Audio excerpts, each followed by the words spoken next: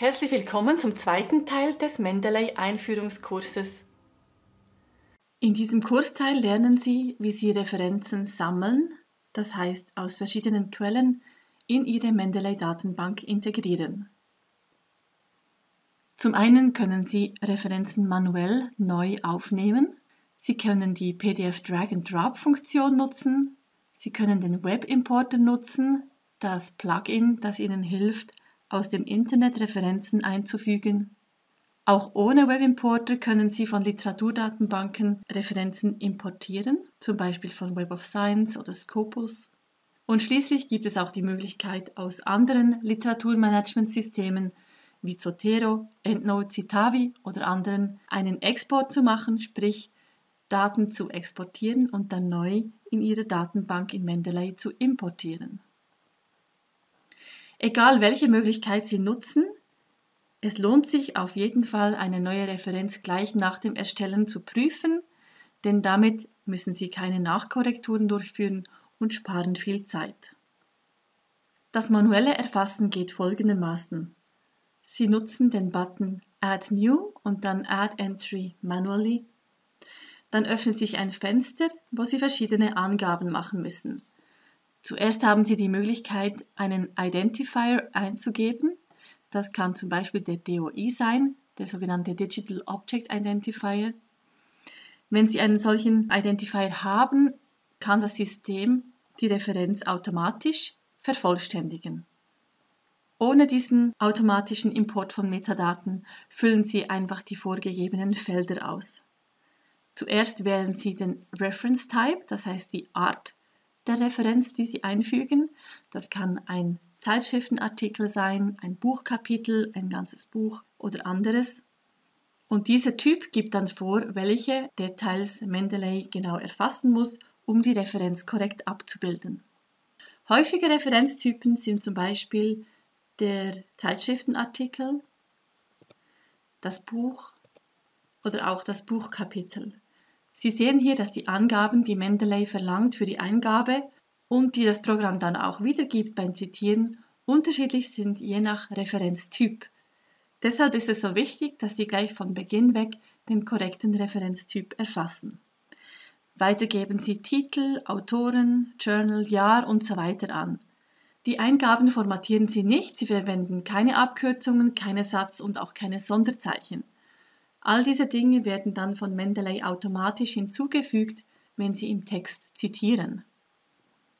Für internetbasierte Referenzen lohnt es sich, die DOI anzugeben oder die URL, dann finden Sie die Quelle auch gleich wieder, wenn Sie sie suchen. Und schließlich, falls Sie Karten erfassen möchten, dann nutzen Sie den Typ Unspecified, weil es in Mendeley keinen Referenztyp für Karten gibt. Sie bestätigen dann die Eingabe mit Add Entry unten in blau. Damit haben Sie die Referenz erfasst. Wenn Sie dann weitere Details aufnehmen möchten, können Sie die Referenz mit einem Klick aktivieren, zum Beispiel Tags eingeben.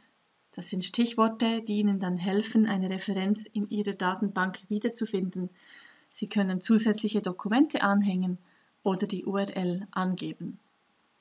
Das manuelle Erfassen ist dann wichtig und nützlich, wenn Sie zum Beispiel einen alten Artikel vorliegen haben, der nicht modern digitalisiert ist, ein Buchkapitel und was sich auf jeden Fall lohnt, ist zusätzliche Dokumente wie ein PDF gleich mit anzuhängen, damit Sie dieses mit der Referenz verknüpft verfügbar haben. Ich zeige Ihnen das manuelle Erfassen gleich hier bei mir in der Mendeley Library.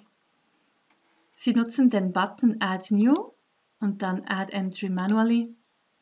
Nun öffnet sich das Fenster, wo Sie zuerst den Identifier angeben können, falls Sie einen solchen vorliegen haben. Falls nicht, gehen Sie gleich weiter. Sie wählen den Reference Type, zum Beispiel ein Zeitschriftenartikel oder in meinem Fall wähle ich eine Book Section, das heißt ein Buchkapitel. Nun muss ich einen Titel eingeben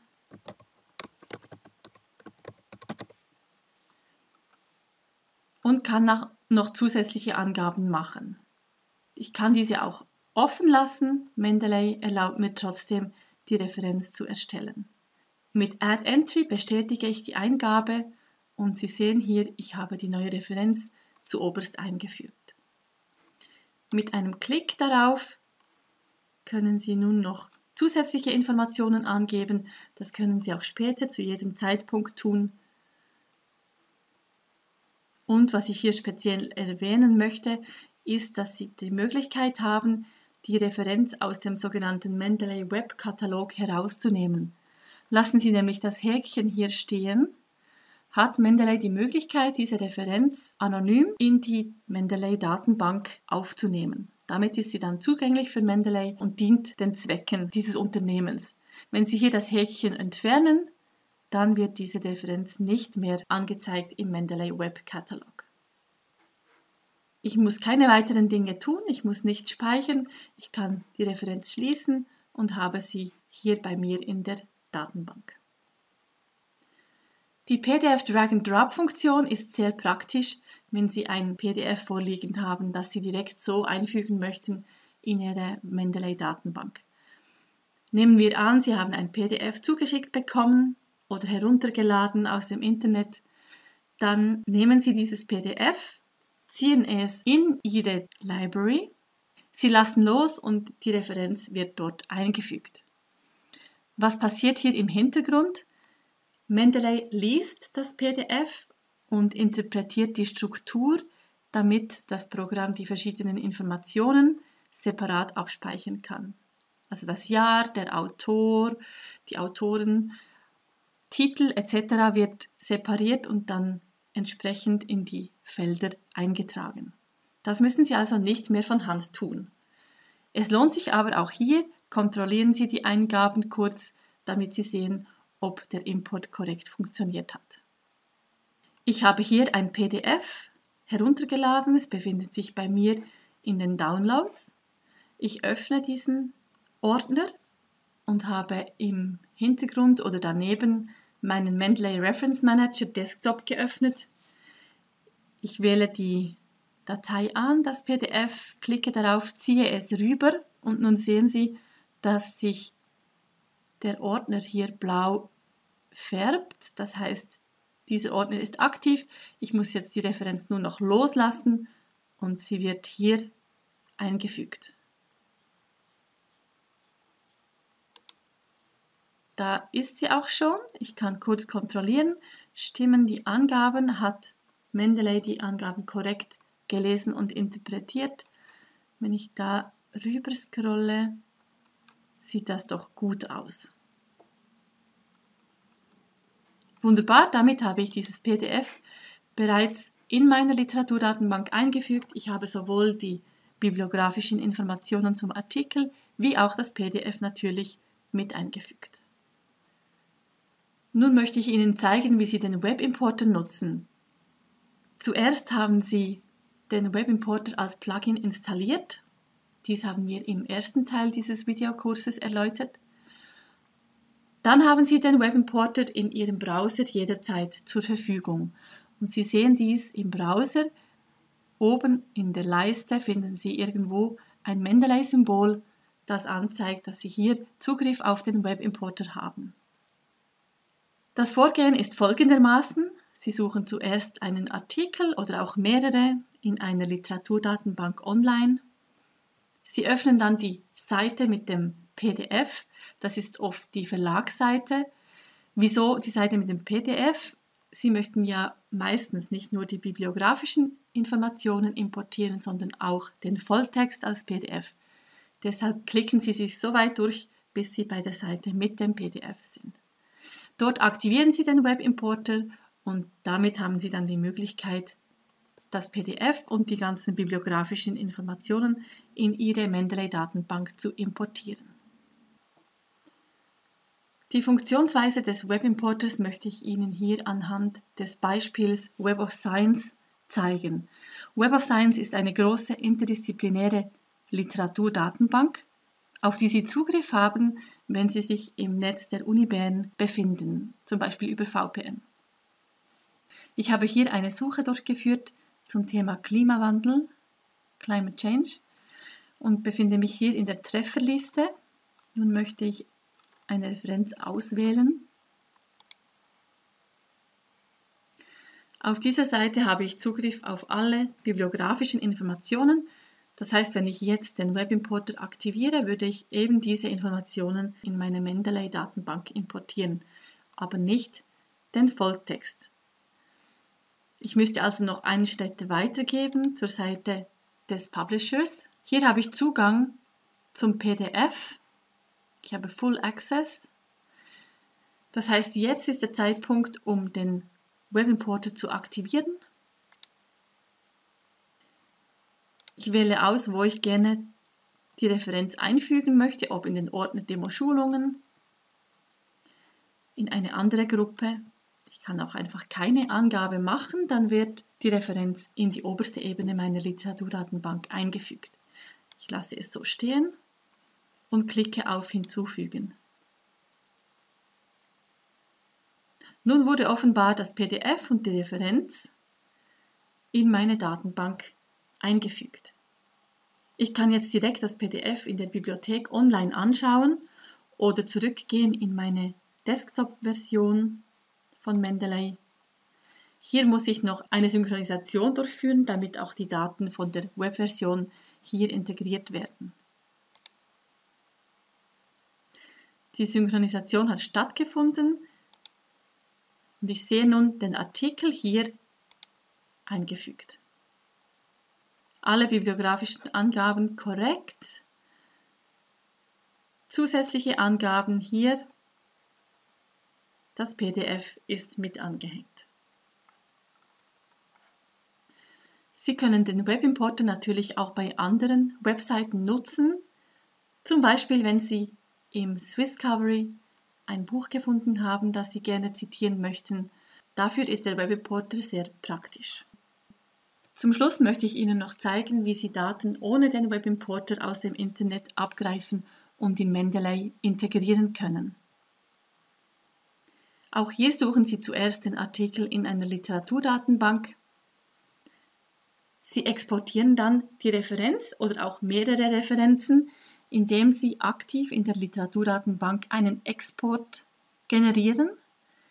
Sie wählen das Format RIS aus und den Inhalt, den Sie gerne exportieren möchten. Damit generieren Sie ein neues File, in diesem Fall ein RIS-File, das Sie bei sich lokal abspeichern.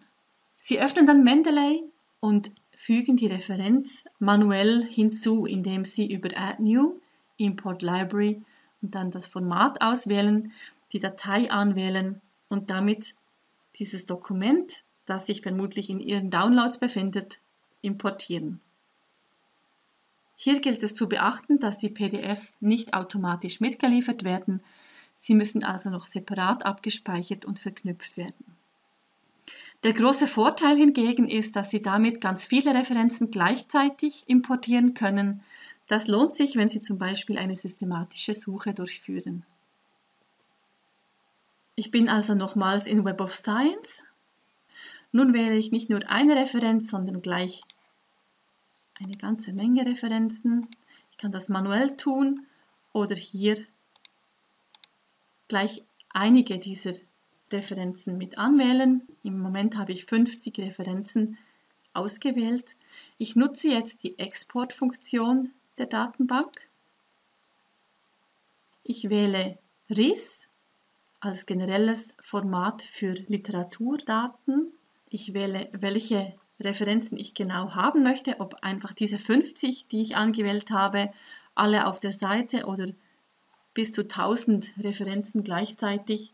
Ich wähle aus, welche Informationen ich mitspeichern möchte ob nur Autortitel, Quelle, auch das Abstract oder den kompletten Datensatz. Und jetzt mache ich einen Export. Nun sehe ich hier in meinen Downloads wurde die Datei safedirect.ris generiert. Ich wechsle nun zu Mendeley. Hier nutze ich wieder die Funktion Add New Jetzt Import Library und RIS. In meinen Downloads befindet sich die nun heruntergeladene Datei. Ich öffne diese. Die Daten werden hochgeladen in Mendeley Und wir sehen, ich habe 44 Referenzen neu generiert.